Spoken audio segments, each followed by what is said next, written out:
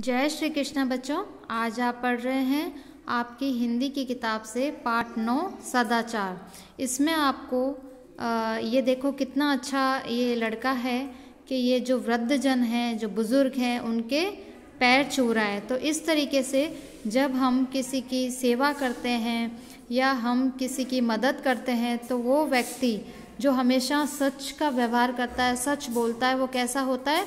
सदाचारी। तो सदाचारी बनने के लिए हमको ईमानदार होना आवश्यक है।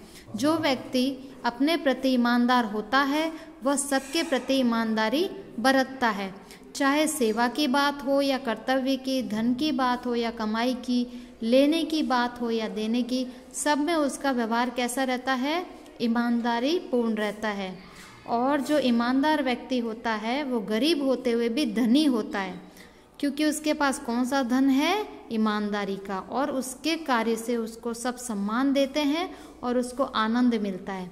बेईमान व्यक्ति धनी तो हो सकता है, परंतु वह सम्मान और आनंद प्राप्त नहीं कर सकता। जो व्यक्ति बेईमान होता है, वो बेईमान व्यक्ति धनी हो सकता है। मतलब उसके पास खूब पैसा हो सकता है परंतु वह सम्मान और आनंद प्राप्त नहीं कर सकता। जो व्यक्ति सदाचारी होता है, वह अनुशासित एवं संयमी भी होता है। जिस व्यक्ति के अंदर सदाचार के गुण होते हैं, वह अनुशासित यानी उसके अंदर कौन सी बात होती है? अनुशासन की भावना होती है, संयम की बात होती है उसके अंदर। और इन गुणों के, इन गुणों को उसके बोलचाल, कार्य व्यवहार खान पान और रहन सहन आदि में देखा जा सकता है। जो व्यक्ति सदाचारी होता है, उसके अंदर अनुशासन के गुण होते हैं, वो संयमी होता है। उसकी बोलचाल की भाषा हो, उसका व्यवहार हो, या उसका खान पान है, इन सब में हम वो बात देख सकते हैं। वह स्वयं अनुशासित रहकर अच्छे व्यवहार का परिचय देता है। वो जो सदाचारी व्यक्ति होता है, वो कैसा होता है? अनुशासित। वो अनुशासन में रहकर अपने अच्छे व्यवहार का परिचय देता है। जो व्यक्ति अनुशासन में रहेगा, उसके अंदर अच्छे व्यवहार के लक्षण हमें अपने आप दिख जाएँगे कि हाँ ये व्यक्ति कितना अच्छा है, इसके अंदर कितने अच्छे गुण हैं। और जो गलत व्यक्ति होता है, बेईमान व्यक्ति होता है, उसकी बोलचाल, उसका व्यवहार, उसका खान पान उसको भी देखकर हम समझ सकते हैं कि यह व्यक्ति सही नहीं है, यह व्यक्ति बेईमान है। सत्य बोलना एक प्रकार की अखंड तपस्या है। सत्य बोलना यानी सच बोलना। सच बोलना एक प्रकार की अखंड तपस्या है। सच बोलना एक प्रकार की अखंड तपस्या है। तपस्या का मतलब क्या हुआ? तपस्या का मतलब कि यह एक बहुत परिश्रम का काम है, सच बोलना। क्योंकि झूठ बहुत आसानी से कोई भी खड़े खड़े बोल देता है, लेकिन सच बोलने के लिए, ईमानदार बने रहने के लिए इंसान के अंदर बहुत ताकत होनी चाहिए। सच बोलने के लिए बहुत परिश्रम करना पड़ता है, क्योंकि सच सबको क्या, कैसा लगता है? कड़वा लगता है, लेकिन सच हमेशा सच होता है। इसलिए सच बोलना एक प्रकार की अखंड तपस्या है। अखंड जिसको खंडित नहीं कर सकते, अखंड जिसको हम उसके खंड नहीं कर सकते, उसके टुकड़े नहीं कर सकते। वो एक ऐसी तपस्या है। झूठ बोलना अच्छा नहीं माना जाता। झूठ बोलने को हम अच्छा नहीं मानते हैं। जो व्यक्ति हृदय से सत्य बोलने का व्रत लेता है, वह सदाचारी होता है। जो व्यक्ति अपने हृदय से, अपने मन से सच बोलने का व्रत लेता है, वह सदाचारी होता है। क्योंकि जो व्यक्ति झूठ बोलता है, बेईमानी करता है, वो व्यक्ति कभी भी सदाचारी नहीं हो सकता। क्योंकि सदाचारी व्यक्ति कैसा होगा जो हमेशा सत्य बोलेगा।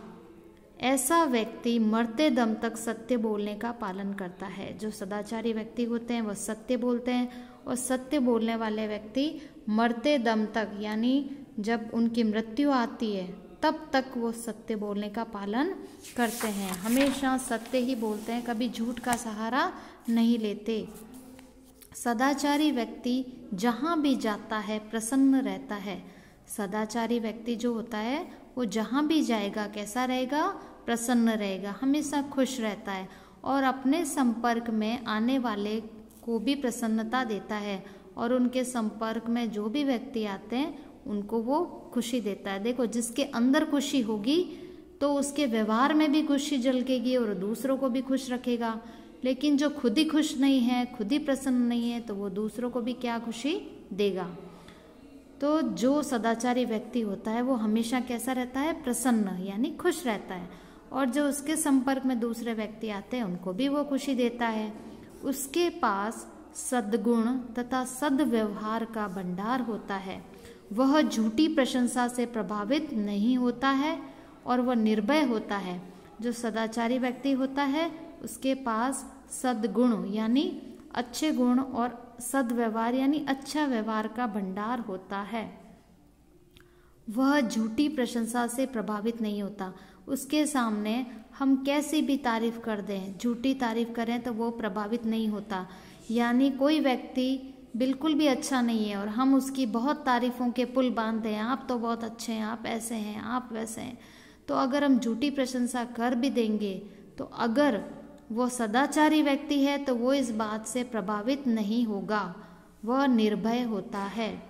वह कैसा होता है? निर्भय। निर्भय का मतलब जिसे कोई भी भय नहीं होता। जिससे कोई भी भय नहीं होता, उसे हम क्या कहते हैं? निर्भय। तो सदाचारी व्यक्ति कैसा होता है? हमेशा निर्भय होता है, उसे कोई भी भय नहीं होता। वो खुद भी खुश रहता है, वो अपने संपर्क में आने वाले दूसरे लोगों को भी खुशी देता है। उसके अंदर खूब अच्छे व्यवहार होते हैं, वो अच्छे व्यवहार का भंडार होता है, वो झूठी प्रशंसा से प्रभावित नहीं होता और वह निर्भय होता है।